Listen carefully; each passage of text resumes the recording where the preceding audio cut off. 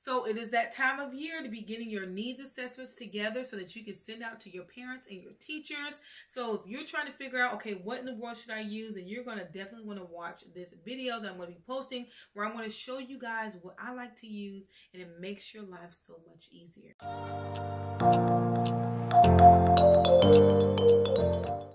School counselors and school counselors to be. Thank you guys so much for coming to my channel, The Inspiring School Counselor. And today we're going to be talking all about needs assessments. Just to keep it real simple for you guys that might not know what needs assessments are, um, pertaining to school counselors, needs assessments are surveys that you can send out either to teachers, parents, so that you can gain feedback on things that will be beneficial for your school counseling program. And even better yet, you can even gain information on specific students that the parents might want you to see for individual counseling, small groups, and even get ideas on lessons, okay, that you can do. So I want to be showing you all something that I like to use whenever I am putting together my needs assessments. It just makes things so much easier and also, I love that you can actually generate a QR code to make it easier for parents to access the needs assessment. So I'm super excited to get into this. If you guys are excited too, make sure you hit that like button and also make sure you subscribe and hit that notification bell so that you can be notified every time I upload a video. All right, y'all, let's get into it. All right, you guys. So all of my Microsoft users, if you have a Microsoft 365 account, you can have you have access to Microsoft Forms, okay? So whenever you click on the app for the forms, this is what it's going to open up. It's going to look something similar to this. And I just want to point out they do have other templates in here if you wanted to look at all the other things that they have, the surveys that you can utilize, all right? But today we're going to be starting on a blank canvas. So you're going to actually click on new form, all right? So that's what we're going to do. It is opening up for us and I'm going to make this smaller. So the first thing that you're going to want to do is you want to title it, all right? You guys are actually going to see me looking over because I actually already did this. I'm going to look at the one that I used for last year. So you could put something as simple as a school counselor needs assessment. All right. And then you want to do parent slash guardian. Perfect. Parent slash guardian. I spelt that wrong. Didn't mean to do that. All right. Now, it is very important, at least in my personal opinion, for you to put a description, okay? In this description, you're going to utilize this opportunity to let your parents or whoever you're sending this out to know the importance of this needs assessment, what you're going to be using this needs assessment for, as well as when they need to turn in this needs assessment, like the deadline. So I'm going to type in something here, and you guys feel free to copy the same exact thing and maybe just adjust it to wherever, whatever school you're at. All right, you guys so this is what I put. The purpose of this needs assessment is to gather your feedback concerning your child's needs this school year. Your feedback will help the school council support your child's academic, social, and emotional needs. Please submit this survey for each child separately so the school counselor can meet the needs of each individual student. This survey is due by August 15, 2024. Now, school for us starts back August 7th, and so that's about a week that they have to turn this in, but you can definitely give them more time. Now, y'all, please excuse. I was trying to hurry up and type this, and I know I have some stuff that's capitalized that should be capitalized and i'm sure i have some things um need to have some punctuations and stuff like that but you guys fix that how you desire. So now that we're done with our description now i want you to click on add new all right? And once you click on that you are you have the option whether to choose choice text ratings date and even if you click on that little arrow, it will open up to some other options as well. Okay. But the one that we're going to use, um, especially if you're wanting to do it exactly like mine, it's going to be text. Okay. So the first thing that I, I love to add in here is I want to know who is filling out this survey. Just because when I'm getting this information and it's about students, I want to know, okay, who was the one that's given the permission. So it's just really good for me to collect that information. And you guys fix the wording however you need to, okay? Um, so you do that however you need to. And I, am going to be going in here and I'm going to be changing some things, I'm sure. All right. So parent slash guardian's name that is filling out this survey. All right. So You can either leave it like it is and go on to the next one. All right. And this will provide them to do a short answer or you can do a long answer. That's just going to allow them to put in even more you know uh, information okay? I'm actually going to just leave it off and just do a short answer. And you also have the option whether you want to require for them to answer this question or not I say you guys require them to answer every single thing that you put on this needs assessment because you want to get as much information as, that you can. All right. So I'm just going to go ahead and click that. So now it is highlighted. And here is some other things that you can, you know, play around with. I don't know what all these things are and what they do, um, but feel free to play around with that. So now that we're done with that, we're going to go to add new. And the next thing that you're going to click on is choice. All right. Now I want to know what is the relationship that this parent slash guardian has with this particular student. So that's what we're going to ask. So then that is all filled out. Make sure that you require it if it is that you want to require that. Okay. And then you have a choice to whether or not you want them to be able to choose multiple answers. Um, and so then they will be able to do that. And what I love too is if you wanted them to choose, be able to choose multiple answers, there can be no limit or equal to or at the most. Okay, so you can play around with that. Now I'm just gonna have them choose one. You're either the mother, the father, like what are you? So the next information that I want to know is okay, what is the child's name? So when you click on that, you want to add text again, and you're going to just put child's name. Then I also want to know, okay, what grade level is that student in? So I think we have everything set there. Now we're moving on to our next one that we're going to be asking, and this is going to be the school counseling services section.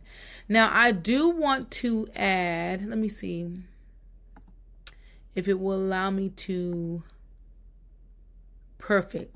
So I'm going to click section because I want to make known okay this is talking about the school counselor services and once you put that everything should be good now you can add in what it is that you're asking so i'm going to do choice and i'm going to ask them what school counseling services you feel your child could benefit from both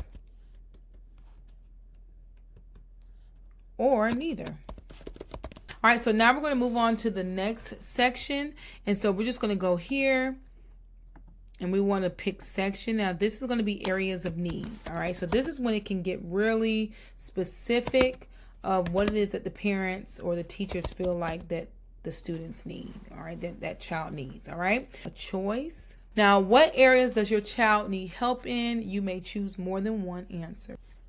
Number one thing, it's required. I just want to make sure I get that part out the way. All right. So then here I'm going to put academics uh, social,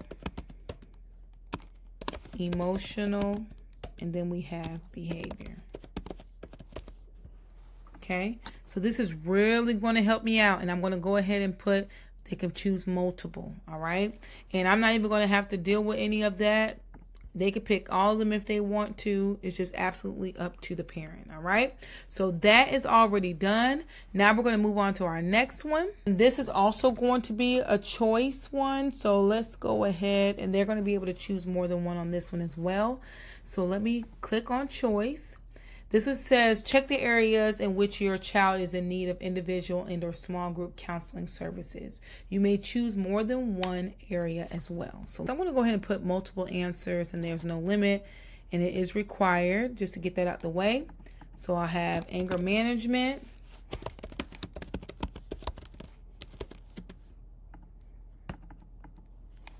Uh, self-esteem right, so that is everything on there. We already hit the required, multiple answers, so everything is good. You guys, we are getting done with this. Hold on one second here. I want to make sure I don't leave out anything. All right, so now the next section that we're adding is I do want to know also what is the child's teacher name. So I'm actually going to go up here because I'm going to add this because I do want to know the child's teacher's name.